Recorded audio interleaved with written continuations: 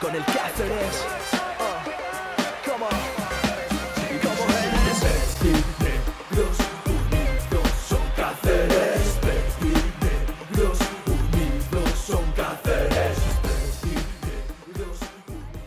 Muy bien, pues buenos días o buenas tardes. Eh, estamos ya aquí en la séptima edición, si no me equivoco, de este galardón que se entrega, bueno, pues al jugador que, que la afición vota. Es un, es un, trofeo que, bueno, seguramente se valora mucho en ese sentido, porque si bien eh, refleja cómo ha ido la temporada, pues también se, se votan otros aspectos también un poquito más sentimentales. Es el segundo año consecutivo que se lo vamos a entregar a Luis eh, dentro de las siete ediciones que se han hecho. Yo simplemente pues darle la enhorabuena a Luis. Eh, Luis ya es, bueno, es de la casa, podemos decir. Él lleva ya muchos años con nosotros. El primero lo ganó hace creo que, bueno, no sé si El fue año del ascenso. el año del ascenso, efectivamente, hace creo que cinco. Eh, otros ganadores han sido, bueno, pues Olu, eh, José Antonio Marco, también lo ha ganado Sandy Marcius. Y bueno, pues seguir animando a las personas que participan en, el- en la votación, que después de los partidos es justamente el momento, digamos, en el cual está caliente, ¿no? Para que, para que la gente se acuerde más recientemente del partido. Dentro de esta temporada que hemos tenido, pues un poquito más complicada que otras, podemos llamarlo así. Esperemos que se aprenda de los errores, se corrijan esos errores. Eh, siempre es bueno, a lo mejor, eh, pues darse cuenta de que, de que esta liga es una liga muy dura, muy competitiva, que los equipos se refuerzan mucho, que los ascensos y los descensos pues ya no es como antes, ahora se lucha por otros objetivos más importantes. Eh, yo simplemente decir que ojalá siga Luis con nosotros, eso no depende de nosotros, depende de conversaciones, de cosas que a nosotros se nos escapan de nuestro control. Yo por mí, ojalá, y creo que hablo en nombre de toda la afición, es un jugador que todavía le quedan muchos años de baloncesto y esperemos que sea aquí en Cáceres. Por mi parte, nada, agradecer vuestra presencia y a Luis enhorabuena y bueno, a Juan Antonio también, que nos patrocinan el trofeo, que la casa se porta siempre genial, esta casa, el montadito, tanto para alimentar a los jugadores como para este tipo de eventos. Enhorabuena y bueno, felicitar a Julio y a Juan Antonio también. Eh, buenos días. En- bueno, yo como en representación del restaurante El Montadito agradeceros que estéis aquí. Enhorabuena por seguir en, la liga. Y sobre todo, bueno, también estamos no solamente con el club, sino también con la afición. De ahí nuestra, nuestro apoyo, nuestra participación en esta, en esta situación. Y pues nada, que ojalá que sigamos disfrutando de, del buen ambiente y ojalá que sigáis ganando y ojalá que sigamos estando todos juntos. Bueno, buenos días a todos. Eh, muchísimas gracias a Rayo, a la asociación y, al Montadito, a Juan Antonio y a Julio. Eh, yo siempre he dicho, para mí el, el Montadito es como, como mi casa. Estoy eternamente agradecido a, a Julio y a Juan Antonio porque aquí nos tratan de una manera exquisita, o todos los días, lo que necesitemos está a nuestra disposición y pues para nosotros como jugadores estando fuera de casa es un placer y, y es una, bueno, pues una ventaja que termines de entrenar y puedas venir aquí a, a comer y sabes que, bueno, pues que te, te- te tratan muy bien. Eh, a, a José Manuel, bueno, y a la asociación en general, a todos los, los aficionados de, de Cáceres, pues daros las gracias por, bueno, pues por este galardón, por, no solo por el galardón, que al final, bueno, es algo anecdótico, sino daros las gracias pues, por todo el cariño que, que hemos recibido. Eh, yo personalmente llevo aquí bueno, seis temporadas y, lo noto cada día, por la calle, en el pabellón, durante la semana en los entrenamientos también hay, hay aficionados que vienen a, a apoyarnos. Y yo personalmente estoy encantado, estoy encantado porque bueno, este año ha sido una, una temporada muy muy difícil, muy complicada, eh, pero bueno, al final pues todos juntos, no, no me voy a cansar de decirlo porque al final... eh, al final de temporada ha sido cuando más se ha visto ese, ese empujón de la afición, cuando más se ha visto que, que estaban con nosotros, pese a que ha habido bueno, pues momentos durante la temporada que, bueno, pues que había algunos, algún sector de la afición pues que no confiaba mucho en el equipo, que bueno, lógicamente pues tendrían su, su opinión y no y, y nos criticaban un poco, pero bueno, eso cada uno, eh, bueno, hoy yo digo que hoy en día las redes sociales son como los bares antiguamente, ¿no? O sea, los bares cada uno daba su opinión y, y hoy en día, bueno, pues a través de las redes sociales que tiene un poco más de eco, pero bueno, al final nosotros estamos aquí pues para para sacar esto adelante. Como bien he dicho, la temporada ha sido una temporada muy regular, con muchísimos altibajos, pero que sin el apoyo de, nuestra afición y, sobre todo al final de temporada, tanto en casa como fuera, pues, bueno, pues sin el apoyo de ellos no, no, lo hubiésemos conseguido. Y poco más, simplemente eso, daros las gracias, reiteraros que me siento muy, muy querido aquí en Cáceres eh, me siento como en mi casa, de hecho la considero mi casa. Mi niña ya es cacereña, me voy a casar también aquí en Cáceres este verano, entonces, ¿qué más puedo decir? La verdad que, que muchísimas gracias y bueno, ojalá, ojalá sigamos, sigamos disfrutando juntos. Muy bien. ¿Preguntas?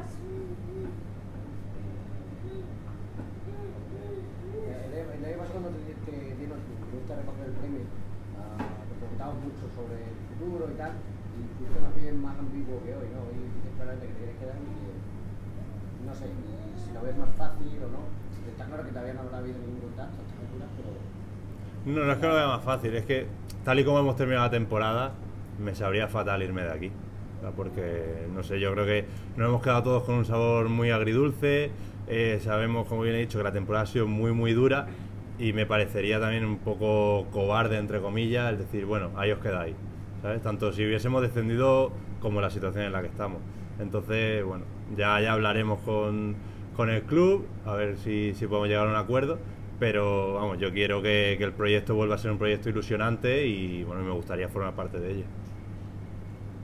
Una vez habéis reposado ya la euforia, digamos, inicial por quedaros en el de oro y tal, eh, ¿cuáles son las sensaciones ya en frío de la temporada que ha terminado?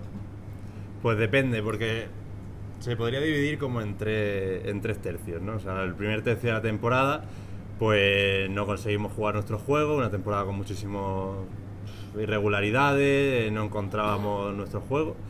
El segundo tercio fue eh, la, la, parte inicial de Roberto, ¿no? Cuando eh, se sustituyó Ñete por, por Roberto, que bueno, empezamos con, con, muchísima euforia ganando al Barça y tal, jugando muy bien los, los siete primeros minutos contra Oviedo. Y a partir de ahí, otra vez, pues muchos miedos, desconfianza, eh, no encontrábamos nuestros juegos, eh, veíamos que iba pasando la temporada y seguíamos en los puestos de, descenso.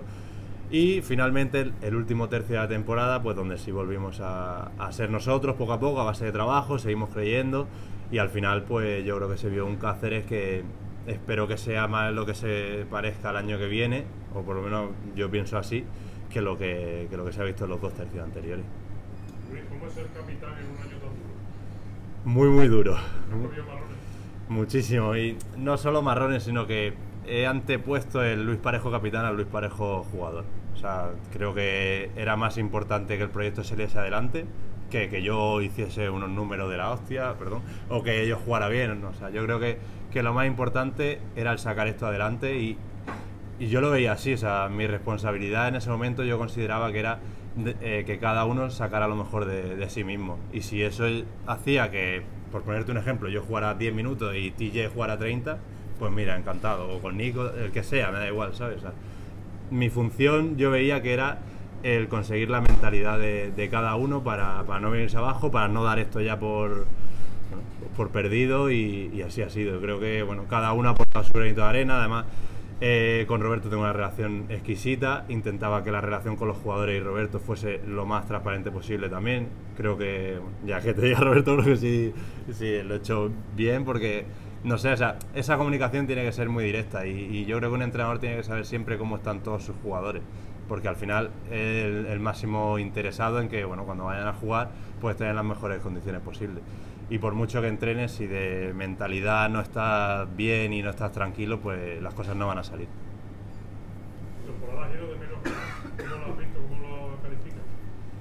Bueno, también irregular como, como, la de todo el equipo, pero sí que, bueno, eh, me he concienciado, sobre todo después del partido de Coruña, creo que fue, que, bueno, que ya estaba bien, que, teníamos que, que dar un paso adelante teníamos me refiero porque, bueno, cuando hablo de teníamos me refiero a Cristina también, a mi familia y tal, que para mí es un apoyo muy, muy importante, ¿no? Y, y son los que han sufrido mucho conmigo. O sea, vosotros como afición sufrís muchísimo, pero nuestras parejas y nuestras familias pues sufren muchísimo más porque al final estamos todo el día con ellos, estamos constantemente en contacto y tal. Entonces eh, había que, que revertir la situación porque, bueno, es que si seguíamos así, tanto yo como como el club pues nos íbamos a, nos íbamos a Les Plata. Entonces, pues creo que, que sí, además, bueno, lo digo abiertamente, o sea, he trabajado con, con psicólogo deportivo durante esta temporada también, porque bueno, creo que es un- una herramienta más en la que los jugadores, los deportistas nos debemos apoyar. Y bueno, creo que bien, o sea, estoy muy satisfecho, sobre todo en la parte, ya te digo, final de, de la temporada, que ha sido cuando pues cogí las riendas, por así decirlo, y dije, hay que dar un paso adelante, y me salieron bien las cosas. Y en tus declaraciones públicas siempre decías que creías y tal, y era lógico decirlo, claro. Pero no hubo ningún momento en el que, pues en la soledad de tu habitación o, o del vestuario, pensaste, no, vamos a bajar. eh, De verdad, es- No, es- ese escenario sinceramente no me lo planteaba. No me lo planteaba. De hecho, bueno, en la entrevista que hablé contigo te lo dije. O sea, yo daba por hecho que el día de Canoe íbamos a estar salvados. Pues nos faltaron cinco puntos, los dos de, Melilla y los cinco de, de- O sea, los tres de Orense, ¿verdad? Sí, o sea, a ver, es duro, eh, se te vienen muchas cosas a la cabeza, pero en ningún momento me planteaba el hecho de, de ver al Cáceres en Les Plata. O sea, sabía que iba, que iba a ser muy, muy difícil conseguirlo, pero que, que hasta el día 3 de mayo en Madrid pues teníamos, teníamos nuestras posibilidades y así ha sido. Si, si éramos capaces de, volver a ser nosotros, si éramos capaces de seguir trabajando y de seguir creyendo, pues tendríamos al final posibilidades que, que es lo que ha pasado. O sea, llegamos a, a Canoe con las posibilidades intactas, dependiendo 100% de nosotros y bueno, y el equipo pues lo hizo bien. Dices que el año que viene tu intención es seguir. ¿Qué esperas que haga el club para el año que viene? ¿A dónde crees que los tiros? Pues bueno, lo hablé también, he hablado con Roberto porque tenemos la relación de amistad y no, no como entrenador y jugador, sino hemos hablado pues como puedo hablar contigo después de- del partido y tal, y viendo un poco pues cómo, cómo podríamos ver la temporada que viene. Y mi opinión es que, que se podría renovar a bastantes jugadores porque sabemos, eh, lo- bueno, iba a decir la mierda, da igual, o sea, sabemos lo mal que lo hemos pasado esta temporada. Y creo que para empezar la temporada que viene sería muy importante saber lo que hemos pasado durante toda, durante toda esta temporada. Y yo siempre lo decía, estos cuatro años que hemos estado en oro, se lo decía a los jugadores, digo, tenemos que saber de dónde venimos. O sea, al final venimos de dos años, que yo estuve uno de ellos, no, perdón, los dos, los dos años en Les Plata, y queremos ir hacia adelante, por supuesto. Pero a principio de liga, o sea, tenemos que considerar que somos un recién ascendido. Porque yo no sé los presupuestos que manejamos, pero por supuesto creo que no son los, más altos de la liga. Entonces, si tú intentas competir con gente de, de mayores presupuestos, dando por hecho que, bueno, que ya eres un equipo de Leboro y tal, pues al final te llevas una hostia. Entonces, si para el año que viene, si somos capaces de, de empezar sabiendo lo mal que lo hemos pasado este año, pues creo que, que tendremos mucho ganado. Y en cuanto al juego, pues no sé, yo sé que a Roberto le gusta un juego muy dinámico, más transiciones, más lo que se ha visto a final de, de temporada, también muy agresivo en defensa, un equipo intenso. Entonces, si somos capaces de, de tener jugadores de ese, de ese perfil, pues podremos hacer un buen año. Por supuesto con Roberto en el banquillo. Yo lo doy por hecho. Bueno, le tocará pelearse también en sus negociaciones. Pero sí, yo creo que Roberto bueno, ha, hecho, ha hecho méritos suficientes para, para continuar una temporada más. Y creo que sería injusto por todo lo que ha sufrido también esta temporada que no siguiera. ¿Alguna pregunta más? ¿A quién le dedicas el premio? Pues se lo dedico a Celia, que está aquí, a mis padres, a Cristina, por supuesto, porque es la mayor sufridora, o sea, con la que estás en la cama y después de los partidos y después de los entrenamientos, pues te desahogas con ella, que pues sí, se lo dedico a ella y, y le doy las gracias a la afición. Es lo que celebro, mejor apártate Dele plata, le por men Desde la cantera hasta el sueño CB Oh, aquí se suda con el calor del público. Lucha cada balón como si fuera el último. Hemos crecido siendo de un equipo de victorias y derrotas, pero nunca de vencidos. Suena, suena. El infierno verde y negro Si entrenas, da igual lo que haga el resto Y si algo queda claro en todo esto, es que Cáceres quiere baloncesto. Negros unidos son Cáceres